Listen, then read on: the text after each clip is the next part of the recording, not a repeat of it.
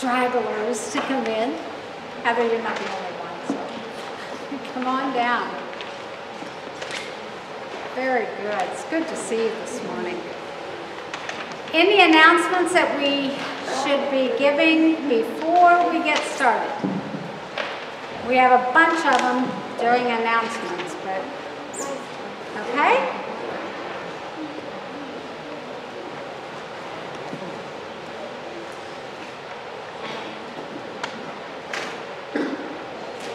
It's got some people coming out.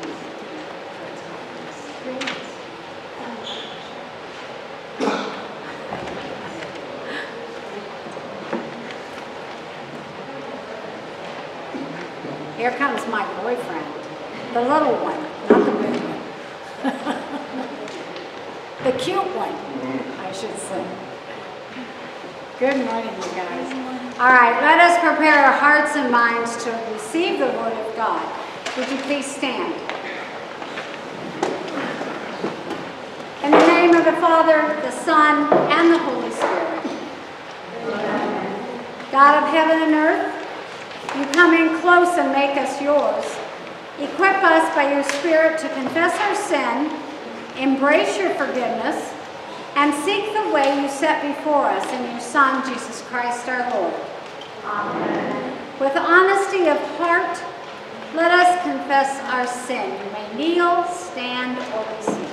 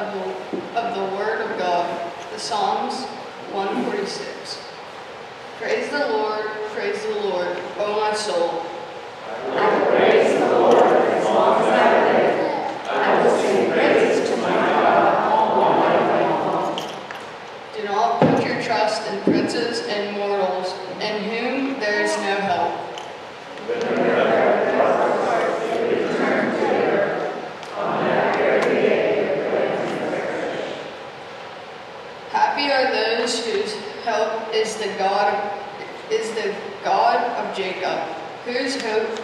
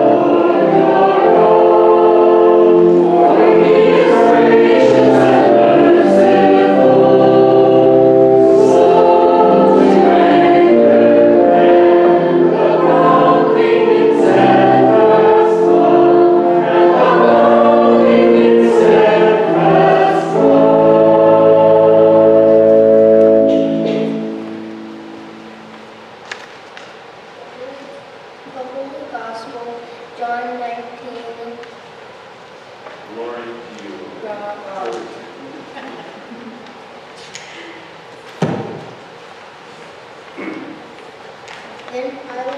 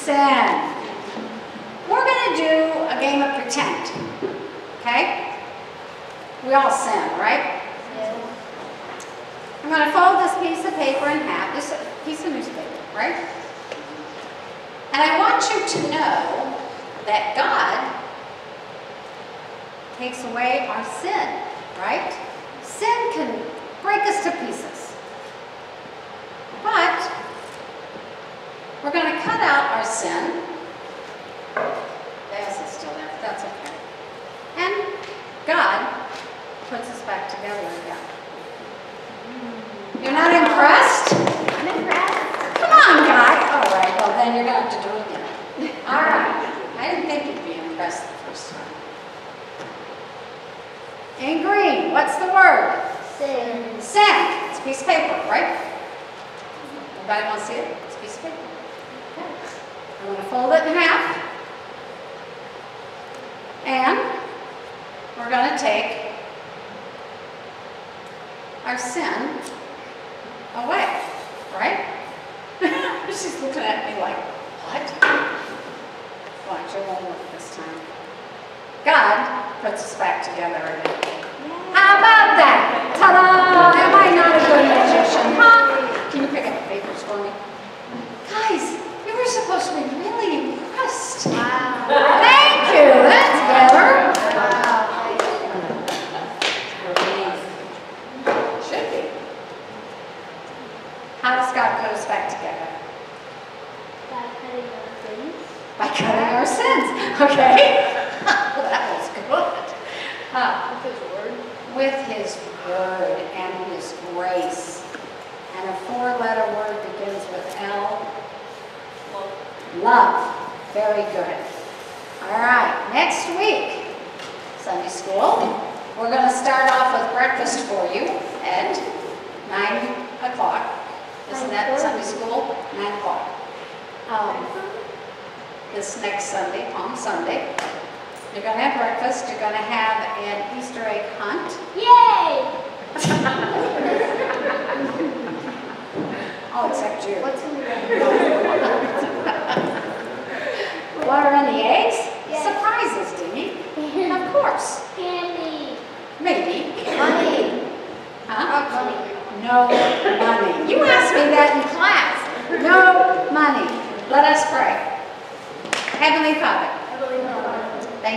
loving us so much that you cut away our sins. Amen. Wait. You guys. Oh, wait. Yeah. Yeah, oh, I forgot. Who's doing it? You. You can do it too. All right, the rest. Oh, jeez. Oh, gosh. Go get those coins and I'll give you your candy when you get back. No, you're gonna insist on your candy now. Okay, fine.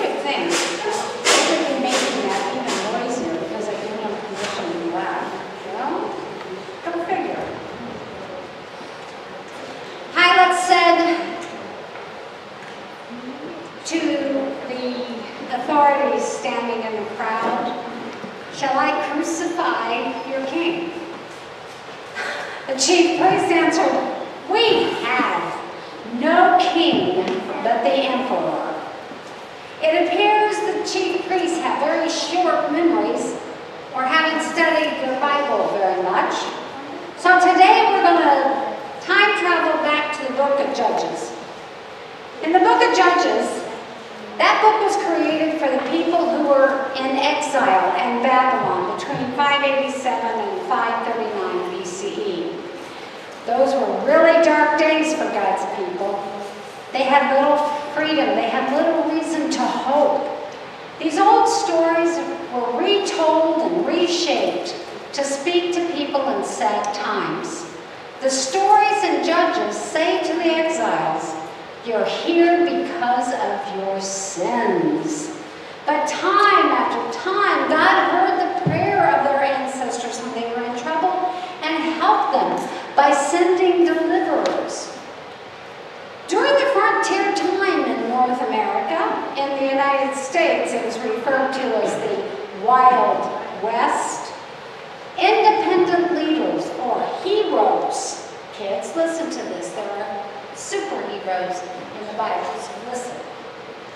There were heroes such as Buffalo Bill, Annie Oakley, Davy Crockett, stepping into leadership roles when they were needed.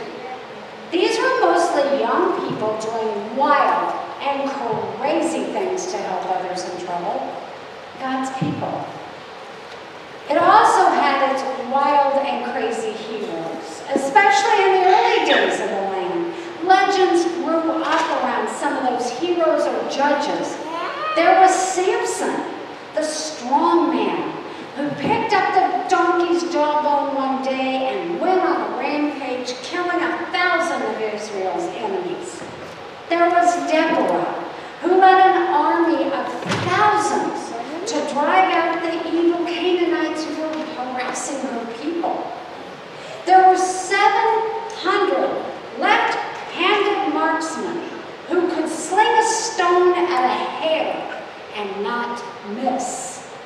There are many stories about the superheroes in the Bible, and every one of them received his or her superpower from God. Since they lived in an area that was called the West Bank, we could sort of say that the Bible takes from the wild, wild West Bank. Yes, kids, there are superheroes in the Bible, and they're every bit as interesting as the superheroes of today. Just pick up your Bible. All right, we're done in Judges. Let's travel to 1 Samuel. 1 Samuel comes to God's people as they struggle to settle into the promised land.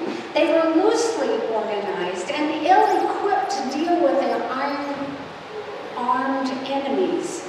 Out of their fear and a lack of trust in God, they asked for a king. Samuel's leadership as priest and prophet is a model of trust in God and absolute obedience to the command of God. He sets a standard and the tone for the entire book of 1 Samuel.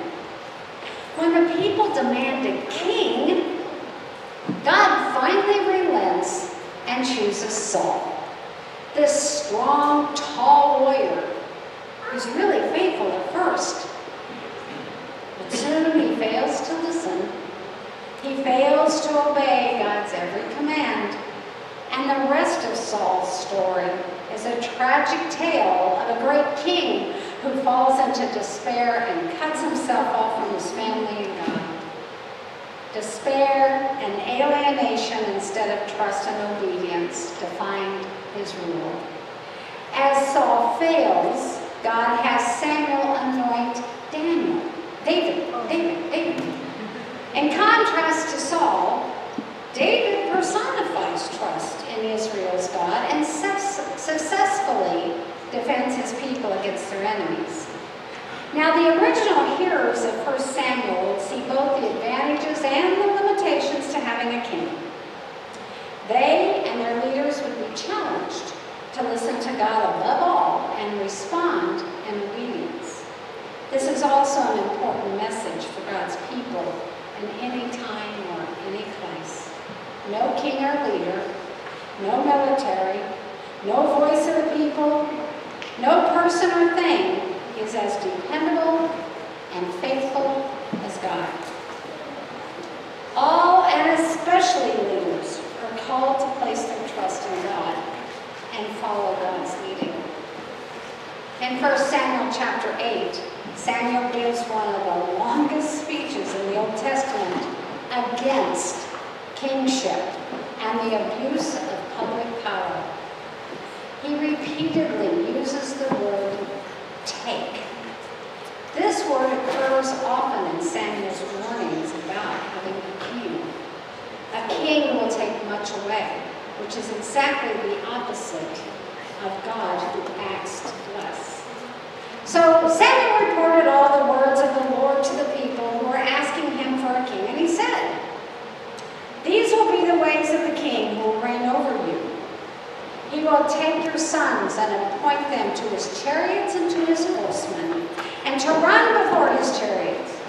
He will appoint for himself commanders of thousands and commanders of fifties, and some to plow his ground and to reap his harvest, and to make his implements of war and to equip his chariots. He will take your daughters to be perfumers and cooks and bakers. He'll take the best of your fields and vineyards and olive orchards and give them to his couriers. He will take one-tenth of your grain and out of your vineyards and give it to his officers and his couriers. He will take your male and female slaves and the best of your cattle and donkeys and put them to his work. He will take one-tenth of your flocks. You will be his slaves. And in that day you'll cry out because your king, whom you have chosen for yourselves, but the Lord will not answer you in that day. Pilate asked them, Shall I crucify your king? We have no king but the emperor. The major theme of the history of Israel that they claimed God as their true king, that God had loved, tolerated, protected them throughout history. It was common knowledge that these people hated Caesar. Yet now they say, we have no king but Caesar. But we can't shake our fingers at the Israelites we will. For we have done the same things to our Lord and Savior. This is one of the reasons we must remind ourselves every year of the consequences of our lack of trust and faith in God. We must know our history to prevent making the same mistakes again and again. This is why Holy Week is so important. This is why Lent is so important. We must walk with our Lord. We must go to that cross with him. And on Easter Monday morning, we must go to the empty grave. What about Pilate? Was he innocent in all of this? Absolutely not. Some have tried to soften his role in the crucifixion by portraying him as a helpless victim of circumstances imposed upon him by the Jews. But upon a closer look, we see a spineless leader. Pilate ordered the scourging of Jesus. Then he sentenced him to death, knowing and admitting that he was an innocent man. Yes, Pilate had the unenviable task of deciding the fate of an accused Jewish blasphemer. The religious issues are no consequences to this Roman official, but sending an innocent man to death might agitate his conscience for a while, don't you think? So who wants a king? We do, if his name is Jesus Christ. Amen. Let us stand and sing our hymn of the day, Were You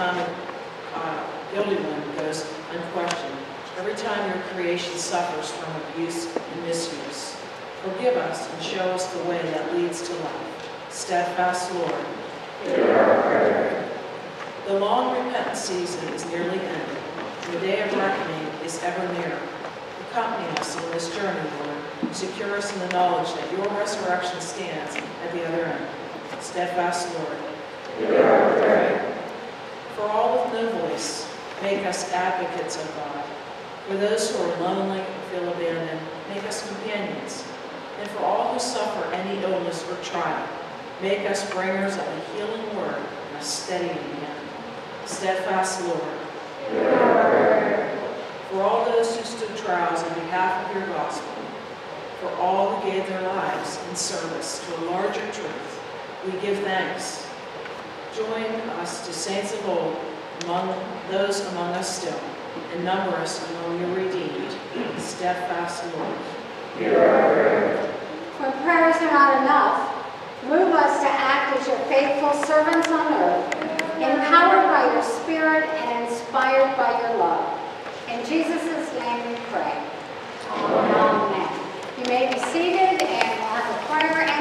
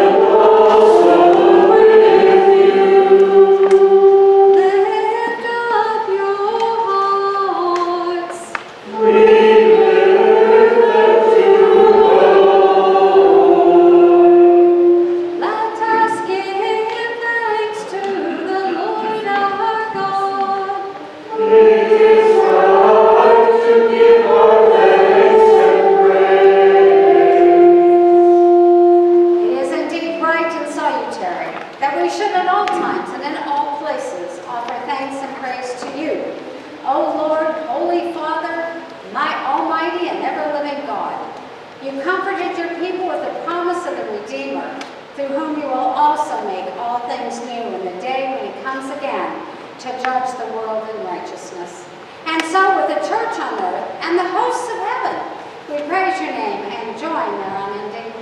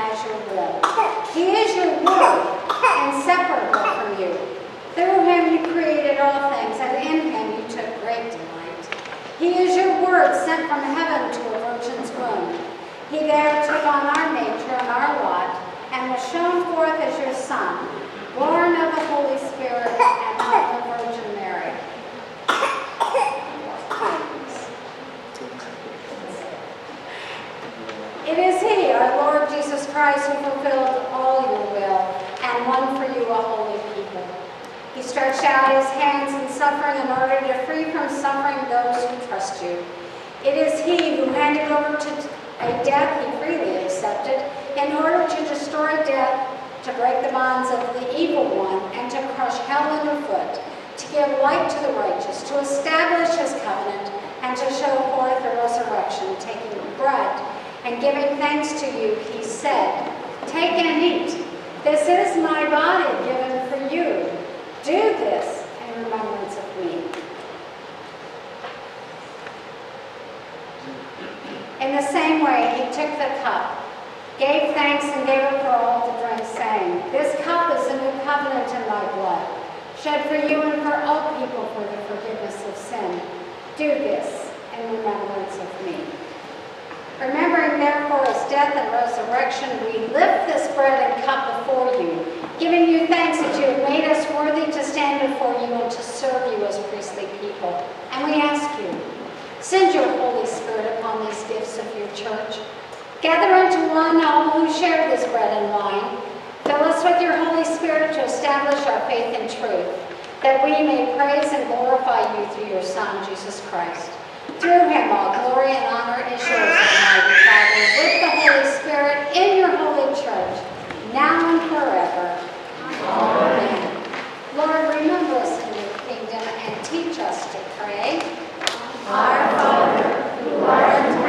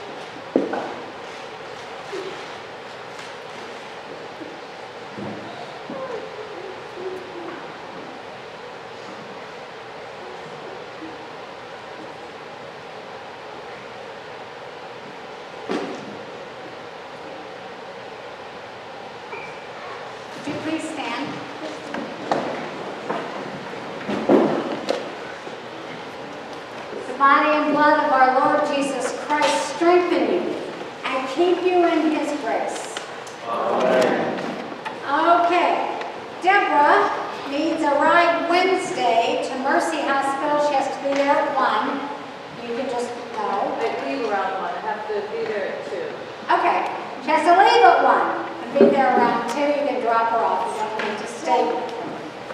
Uh, this Wednesday, the BICW Lenten dinner will be selling cookies after the dinner, and all of that uh, money will go to the uh, Ukrainian people. The cookie recipes will originate in Ukraine or nearby countries.